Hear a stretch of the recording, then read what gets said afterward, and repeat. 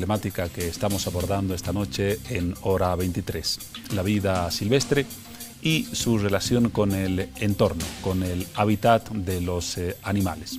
En nuestro país eh, las autoridades se llenan la boca para pregonar el respeto a la madre tierra, pero en los hechos se viola constantemente este supuesto principio. Bolivia, por ejemplo, se encuentra entre los 10 países que deforestan en mayor medida y en índice per cápita su territorio. Un dato muy grave. Bolivia entre los 10 países con mayor deforestación per cápita del planeta. Se estima, de acuerdo a algunas instituciones, que anualmente se deforestan entre 300 y 350 mil hectáreas de bosques en nuestro país. Un dato, el segundo, todavía más alarmante. Y desde luego esta deforestación provoca la destrucción de la vida silvestre, la destrucción de la vida animal y la alteración de todo el espacio geográfico que tiene un sentido y un propósito para los seres vivos, en general, para todos. Vamos a abordar este tema tras eh, conocer el reportaje que les presentaremos en algunos instantes. Y lo vamos a hacer con dos invitados. En principio, Ana Serrano, presidenta de Amor por los Animales Bolivia. Ana, buenas noches. Buenas noches. ¿Cuál es la principal actividad de su asociación? Bueno, en realidad somos eh, un grupo de, de voluntarios, una organización de puros voluntarios que estamos siendo la voz de los animales y no solamente perros y gatos, sino animales en general los defendemos y también tratamos de concientizar a las personas y que hayan cambios a favor de los animales. Muy bien por la síntesis y también está con nosotros Donovan Osorio, biólogo de profesión. Buenas noches. Buenas noches. Muy amable, muchas gracias por la invitación. Veía los datos eh, y los eh, escuchaba respecto a la deforestación y a la destrucción del eh, hábitat en nuestro país. ¿Es así de grande el problema y debería preocuparnos mucho? Pues yo creo que sí, lamentablemente las cifras que has dado están alrededor de los datos que yo también he ido encontrando respecto a las tasas anuales de deforestación que tenemos en Bolivia, son sumamente alarmantes y pues es una de las muchas causas, quizás tal vez no solamente el tráfico, pero una de las más importantes para que la vida silvestre en Bolivia esté en una situación, dependiendo de las especies, bastante crítica la deforestación será el principal eh, riesgo para el sostenimiento de la vida silvestre o existen algunos otros elementos que debamos mencionar? Bien, cuando hablamos de vida silvestre estamos hablando de la fauna y de su entorno, su hábitat. Entonces es una forma bastante interesante de ver la biodiversidad. La vida silvestre es todo lo que nos rodea y nosotros también formamos parte de ella. No olvidemos también que en nuestro país hay pueblos indígenas que están relacionados con la fauna y viven en el bosque o en otros ecosistemas pero eh, sin duda la deforestación no está ayudando para nada que algunas poblaciones de vida silvestre estén, digamos, eh, cumpliendo su función en el ecosistema como, como digamos, es, porque son elementos. Seguro, que sí. Y seguramente Ana también tiene datos respecto a cuál es el daño en la vida animal con la deforestación que se presenta en el país. Sí, bueno, en realidad también no solamente con la deforestación, ¿no? sino también con lo que es la caza ilegal y el daño que se hace a toda la vida silvestre y que vienen acá los animales silvestres para mascotismo y otro tipo de, actividades que la gente prefiere utilizarlos, ¿no? Entonces es terrible la situación de los, de los animales silvestres, de la vida silvestre y bueno, se tiene datos, ¿no? Que están ahorita en tela de juicio justamente por el tema de los tráficos de colmillos, por ejemplo, ¿no? De jaguares. Gracias Ana, gracias Donovan por estos datos que nos permiten introducir el reportaje que vamos a presentar a continuación. Les invito a verlo, lo mismo que a ustedes. El tema de la deforestación, de la destrucción del entorno natural, sus consecuencias en la vida humana desde luego y también animal. Soñando por su libertad todas las especies que, habitan estos ecosistemas son fundamentales. Nunca se va a adaptar si no sufre. La gente debería pensar que al traficar a los animales estás afectando el ecosistema. Una lucha por la vida. Tenemos que proteger, porque los animales no se pueden proteger. Es demasiado sufrimiento hasta el punto de llegar a la muerte. Reportaje especial. Animales silvestres en cautiverio. Este planeta se nos muere el tráfico creemos que en vez de, mejorar toda la situación, de verdad ha empeorado, ¿no? A medida que van desapareciendo, estos animales, se ve el, el, cambio que ellos producen con su falta de presencia en el medio ambiente también, ¿no? en el aire, en el agua. Hay un cambio muy profundo en el espíritu mismo de la tierra. A consecuencia de la caza furtiva e indiscriminada, miles de animales mueren cada año o son arrancados de su hábitat y obligados a vivir encadenados, enjaulados o con las alas cortadas poniendo en peligro a las poblaciones que van disminuyendo drásticamente, provocando de esta manera un desequilibrio irreversible en nuestro medio ambiente. Por ejemplo, cuando se viaja a la selva, se ve gente entrando así, entre 20 personas cargados de, escopetas, ¿no? La mayoría y obviamente están yendo a cazar, El cazador va al hábitat de los animales, con, siempre con violencia, con agresión, mata a la tropa, por ejemplo, en el caso de los monos, matan a las madres y arrebatan a los bebés del cuerpo muerto de la madre. Es el primer trauma que sufren y los sacan de su hábitat. Los loros, las tortugas han perdido su familia y han perdido su hogar y los llevan a la venta, ¿no? Ella es eh, Mara, es una mona araña de dos años y medio. Llegó a la Senda Verde hace dos años en octubre. Tenía alrededor de unos tres meses cuando llegó de Rurrenabaque. Y lo que sucedió con Mara es que el cazador que fue a cazar la Mara, le mató a la madre. Y Mara estaba en la espalda de la mona mamá. Entonces cuando mataron a la madre, cayó la madre y le lastimó la espalda a Mara. Desde entonces ella ha sido una monita paralítica, no mueve ni los pies ni la cola. Tiene parálisis desde la cintura hacia abajo. Llegó de alrededor de unos 300 gramos, ahora ella tiene alrededor de 7 kilos. Lo que los cazadores hacen es eh, matar a la madre para cazar la cría. Y aunque no es la única forma, pero la forma más fácil de cazar la cría es matando a la madre. Es decir, que la cría o está en la espalda de la madre o muy cerca de la madre y disparando a la madre, la madre va a caer muerta al piso, a veces incluso todavía con algo de vida, y la cría no se va a separar.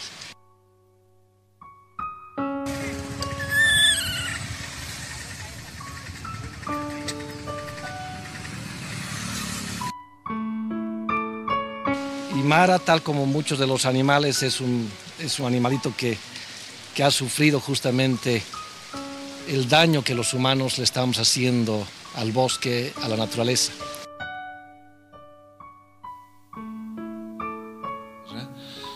Lo que le hacemos a la tierra le hacemos a nosotros. un animal que desaparezca, un animal que sufra, también es, ese es un daño que el ser humano se está haciendo a sí mismo.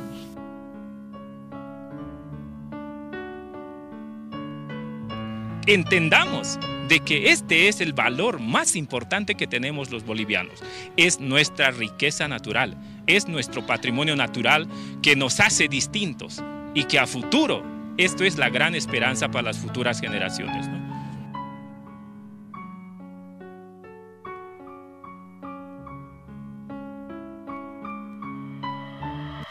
Me llaman por handy y me dice, señora Vicky, hay un señor que quiere ofrecerle fruta de abajo del palos blancos de por ahí. Digo, a ver, voy a salir porque tenemos nuestros proveedores. Y me llama y me dice, señora Vicky, quiero que vea el asiento de adelante.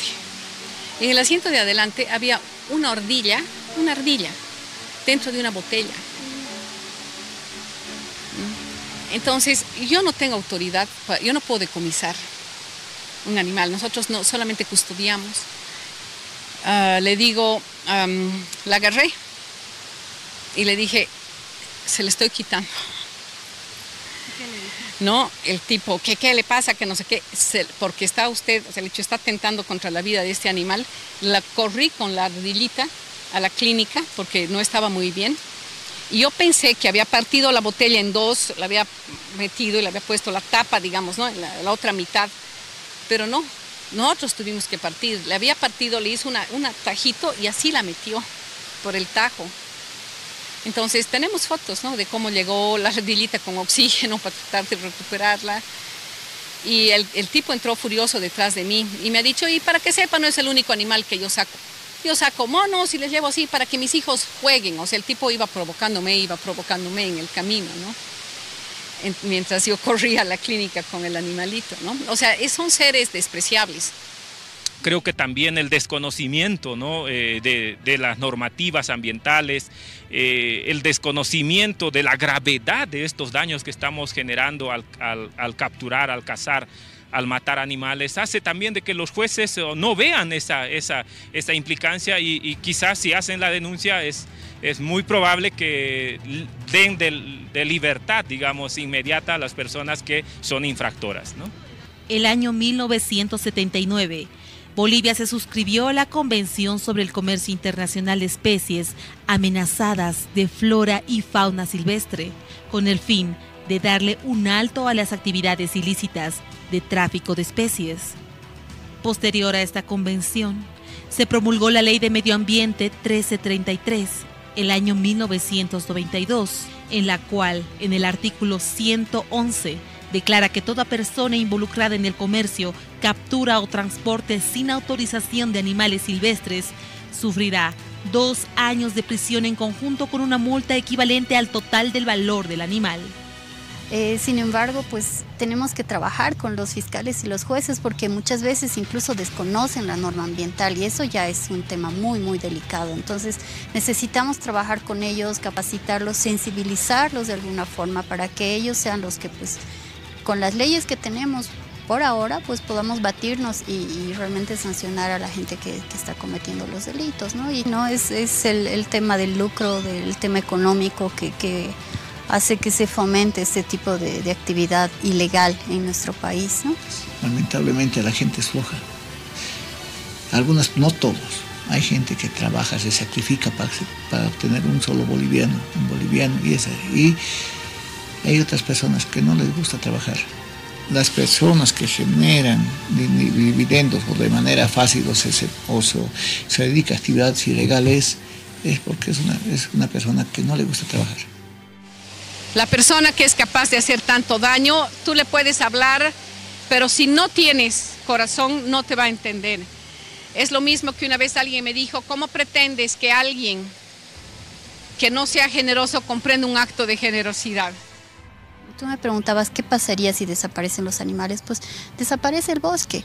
¿Y qué es el bosque? El bosque es lo que crea ese equilibrio también eh, y nos proporciona el, agua, ¿no? que es un elemento vital para todos los seres humanos. Bolivia va a ser el primer país en toda América en perder sus fuentes de agua. Se calcula 15 a 20 años en Bolivia y 25 años para América.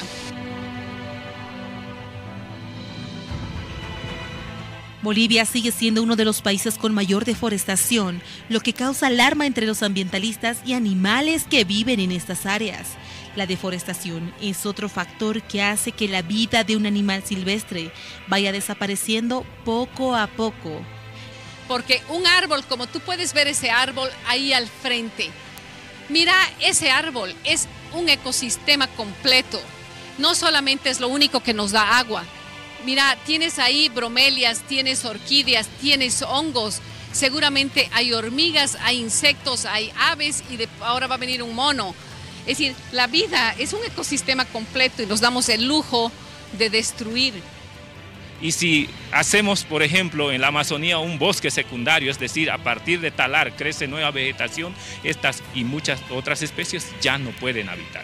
La solución es evitar más deforestación. O sea, ¿de qué sirve que hagamos campañas por sembrar un arbolito? Las campañas tienen que ser por no deforestar. ¿Qué está pasando? No? O sea, es gente que realmente se tiene que encargar de controlar eh, actividades ilícitas dentro de nuestras áreas protegidas y por algo son áreas protegidas porque realmente hay cosas muy valiosas dentro, ¿no? Y nosotros no creemos que la solución sea hacer más centros de custodia. La solución es pelear contra el tráfico. La solución es evitar más deforestación. Nunca antes una generación tuvo tanta responsabilidad sobre sus espaldas como las que tienen ahora. La tierra no pertenece al hombre, sino el hombre pertenece a la tierra. Cuidemos nuestro, nuestro futuro y nuestro presente. Nuestros hijos son nuestro futuro y nosotros somos el presente y cuidemos lo que tenemos a los que han, a, los que han arrancado con dolor, le han, arrancado con dolor a la Pachamama, a sus hijos, eso va a volver después. a las personas que son cazadores, a las personas que están sacando, están asesinando a nuestros hermanos animales y plantas, decimos eso, que tengan cuidado porque eh, la justicia divina de la naturaleza vuelve siempre. Este es el valor más grande que tenemos los bolivianos, nuestra riqueza natural que nos hace distintos a futuro, la esperanza para futuras generaciones. Nosotros creemos que para que se salve el planeta debemos desaparecer los humanos como especie. Tal vez es la única manera de que se salve, ¿no? Por favor, la naturaleza no los necesita, pero ustedes, como seres humanos, necesitan. Algunos analistas sostienen que en el país está vigente un modelo extractivista. ¿Qué significa este modelo? La utilización intensiva de los recursos naturales y entre ellos la ampliación de la frontera agrícola y ganadera. En términos simples, esto significa incrementar la deforestación y desde luego alterar el eh, hábitat natural, no solamente de las eh, condiciones de grupos humanos, sino del hábitat de muchísimas especies de animales y desde luego de plantas en el país. Le pregunto a uno de nuestros invitados, a Donovan, cuáles son las eh, consecuencias de este modelo que se expresa a través de la deforestación en la vida animal. Bien, eh, básicamente es que Bolivia se está dedicando a, cultivar pocas especies, extensivos monocultivos de coca, soya, caña, sorgo, maíz, eh, en función a la exportación, básicamente, sea legal o ilegal, ¿verdad? y eso incluye la fauna. Entonces la demanda está fuera de, de estos insumos o commodities, ¿no? a las cuales no les ponemos precio. Bolivia exporta todo desde siglos y obviamente las consecuencias socioambientales se han visto, ¿no? Tenemos problemas graves de contaminación minera, tenemos graves problemas de contaminación de un montón, de hecho eh, somos uno de los países que más muere por consecuencias ambientales en el mundo y por supuesto la fauna es la que más directamente recibe esos impactos, ¿no? La fauna y la gente que vive cerca de esa fauna, ¿no? Porque nos recordemos que en Bolivia tenemos pueblos y naciones que viven directamente, estrechamente con la fauna ellos también están siendo vulnerados al mismo tiempo que la fauna cuando se exporta de manera ilegal, ¿verdad? Por una demanda extranjera y porque también nosotros tenemos un chip minero, ¿no? Nos gusta, como tú dices, extraer y vender y sacar todo, ¿no? O sea, lo cosificamos todo y no le damos el valor. Hemos perdido lamentablemente eso porque nuestro patrimonio cultural está muy ligado a la fauna y a la flora, ¿no? Veíamos el eh, reportaje a propósito de ese contenido y a propósito de tus eh, comentarios. ¿Cuáles son los efectos concretos? Extinción, desaparición de especies, alteración de círculos biológicos. ¿Cuáles podríamos mencionar como los principales? Bueno, en realidad todo es una unidad funcional, ¿no? Por lo tanto, todo tiene un, digamos, eh, ponderar, se puede ponderar, ¿no? Y todo tiene la misma importancia desde mi punto de vista, porque las especies juegan un rol, tienen, forman parte de una composición de una población y tienen una función en el ecosistema. Entonces, si quitamos, por ejemplo, a un depredador, se va a sentir mucho más fuerte la repercusión en todo el ecosistema que si quitamos a otra población distinta. Pero eh, todos ellos forman una sinergia, lo que llamamos un ecosistema, o sea, un flujo de materia y energía, una cuestión metabólica. Cuando se rompen eslabones de esa cadena, ¿cuáles son las consecuencias? Por ejemplo, te puedo poner un ejemplo. Si se acaban, por ejemplo, los depredadores como jaguares, probablemente hayan mayores enfermedades eh, hechas por vectores como roedores, por ejemplo, u otros animales, cuyas poblaciones se van a disparar porque no hay un control biológico. Y otros muchos más ejemplos que te puedo dar respecto a eso, por ejemplo, acabar con poblaciones de murciélagos también, o, por ejemplo, atentar con ciertas especies de aves que tienen funciones de polinización, etcétera. Pero lo que es más, eh, digamos, es importante es que em, eh, el modelo que estamos siguiendo no ha sido inteligente como para poder decir qué podemos eh, evitar de la globalización y cómo tener una resiliencia como país para no afectar justamente una fauna que está estrechamente relacionada con nuestras raíces culturales, ¿no? y sobre todo porque nos hemos vanagloriado de tener esa gran biodiversidad que por cierto es cierto, somos top 10 en casi todo, en biodiversidad, pero también somos top 10 en destruirla. Y sobre todo porque el marco político no es el mismo de antes. Entonces hay otro, otro, otra coyuntura por la que esto no debería estar pasando de esta forma, digamos, ¿no? Porque, Pero sí está sucediendo. Claro, porque en realidad tal vez no está cambiando mucho nada. Es una buena frase.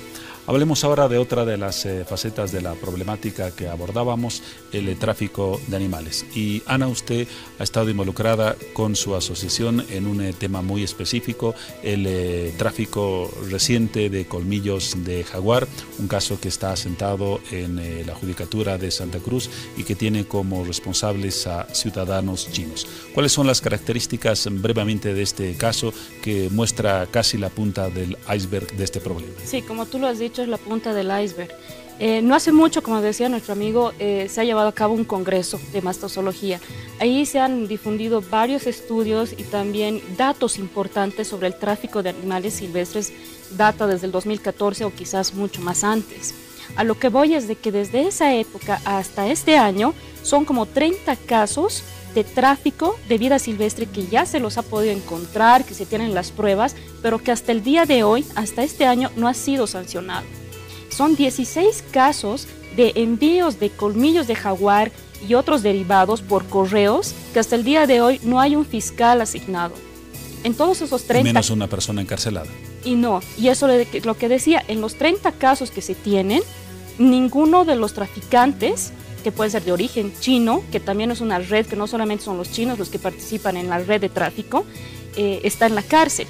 Hay solamente una persona de, origen chino que sí está en la cárcel, pero en China, no está en Bolivia.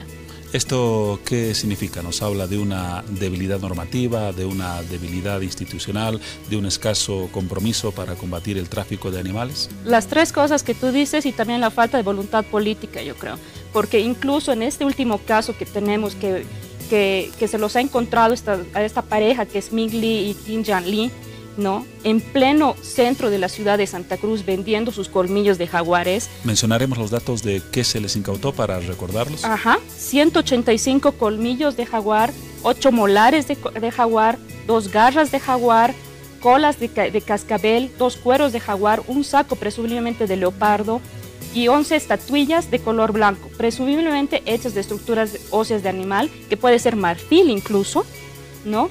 Y un arma, una arma de fuego más, calibre 22.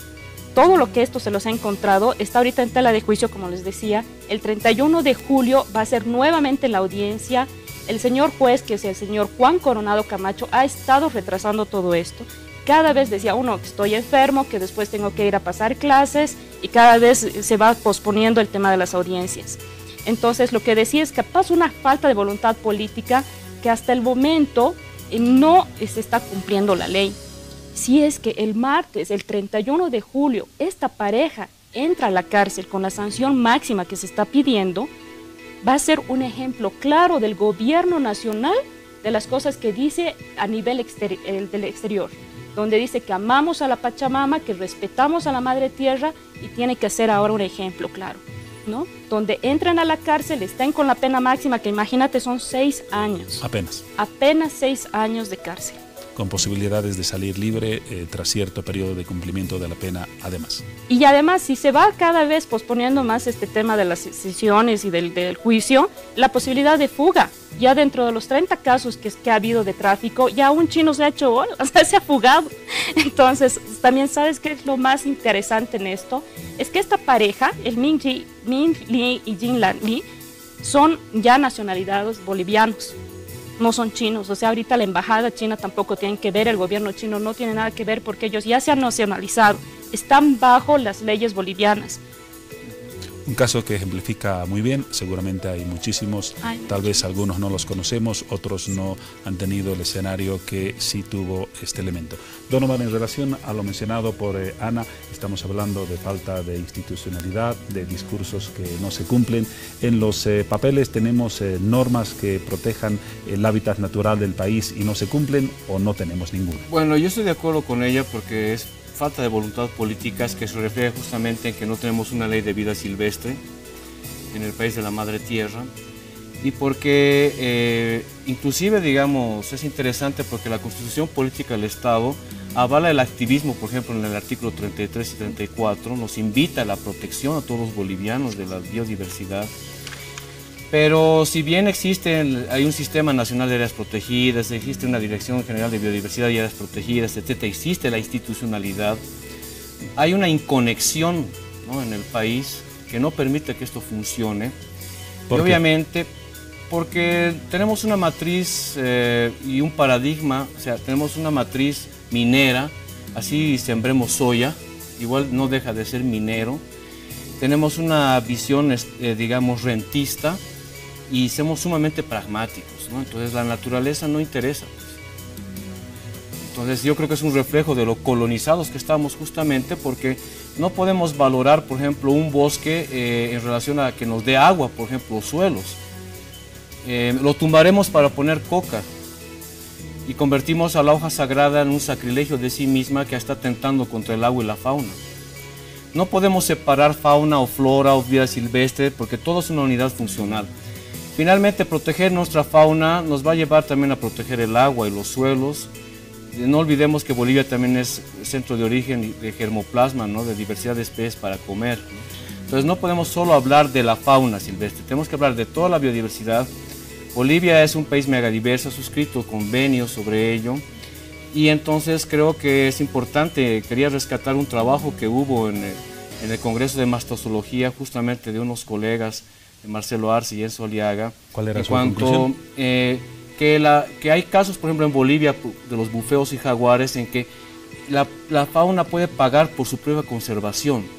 Es decir, se ha generado suficiente valor económico eh, y curiosidad para que se genere eh, recurso económico, pero al mismo tiempo se conserve el hábitat y a las especies o poblaciones que están en el lugar y pueden tener una, una, alternativa y es, ya es una realidad, sería interesante mejorar ese modelo y replicarlo por todo el país y cumplir nuestro, nuestra palabra frente al mundo. ¿no? Ahí tenemos una muy buena opción y una muy buena alternativa. Ana, eh, en relación al eh, tema que estamos eh, tratando, ¿cuál es la responsabilidad de la gente o del ciudadano común respecto a esta problemática? Vemos que no hay institucionalidad, no hay normas, no hay decisión de combatir el tráfico de animales. Como ciudadanos, ¿cómo podemos contribuir a evitar este problema? Bueno, en o realidad, a reducirlo? sí. La parte legal, nosotros, según la Constitución Política del Estado, como bolivianos tenemos el deber de defender nuestra fauna, ¿no? la naturaleza. Está dentro de la Constitución Política del Estado y eso nos permite hacer diferentes acciones, por ejemplo, para que se lleve a cabo este juicio y para que se haga justicia. A través de diferentes acciones pueden ser legítimas, como esta, que es la recolección de firmas, como prensa o como algunas otras actividades más pero por la parte también de accionar, digamos, lo que tú me preguntas, es el de evitar tener, por ejemplo, animales silvestres como mascotas, comprarlas.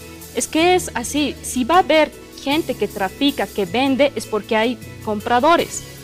Estás incentivando a la gente que sea fácil un trabajo de ir, matar al animal o si no recogerlo, llevarlo y después venderlo porque hay gente que pide comprar animales silvestres hay gente que pide tener un mono como mascota.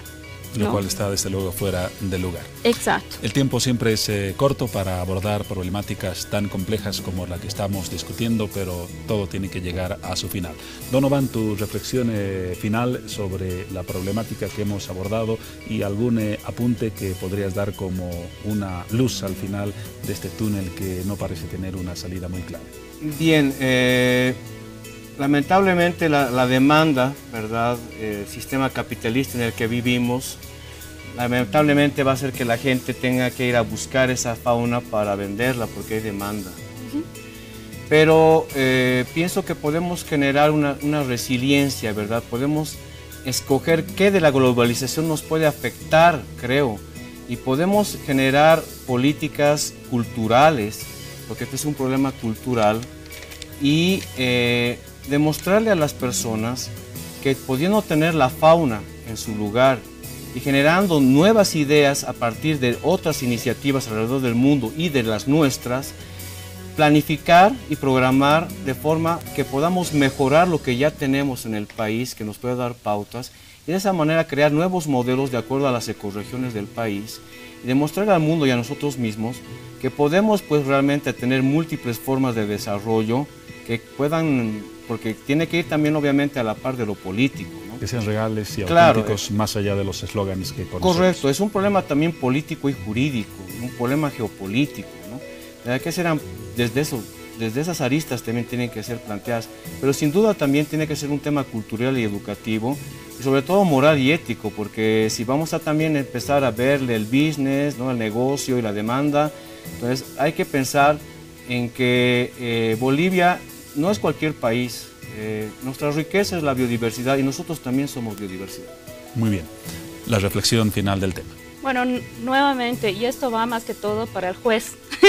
En el caso de los eh, colmillos de jaguar. Exacto, en eso, ¿no? Y eh, sale a nivel nacional. Yo quiero que ojalá él esté viendo, ojalá en Santa Cruz la gente nos esté siguiendo y pueda estar presente el día martes 31 de julio a las 8 de la mañana en el juzgado en, y, y bueno, pedirle, señor juez, que ya no suspenda la audiencia, que se haga eh, justicia, que se cumpla la ley, no hay dónde perderse, que el gobierno nacional dé el ejemplo nuevamente. Les pido a todos y a los, a los ciudadanos bolivianos también. Hasta el día de hoy seguimos recolectando las firmas, eh, vamos a entregar el libro de firmas eh, a nivel nacional, incluso con un memorial directamente hacia el juez y espero que también la gente se una y sigamos pidiendo para que los traficantes entren a la cárcel.